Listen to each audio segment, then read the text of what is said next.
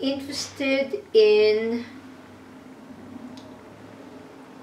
what does it take for individuals to to feel compelled to raise their voice and get involved. I've always been interested in this as someone who um, felt at a relatively young age that um, that I have to speak up about injustice. But because there's so many people who, let's say, went to the march in Washington, uh, two months ago and identified as people who were not active before.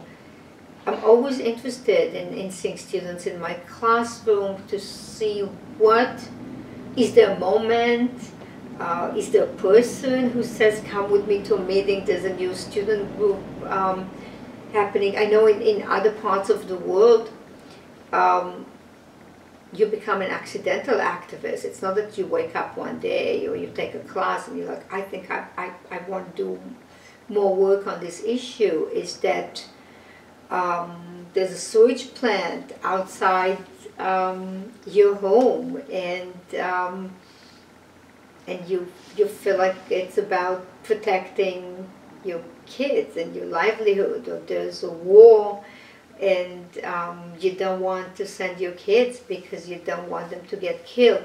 So there's a there's a level of privilege. I'm interested in how people negotiate the the world that they live in and what compels them uh, to get involved in, in movements for social justice and social change.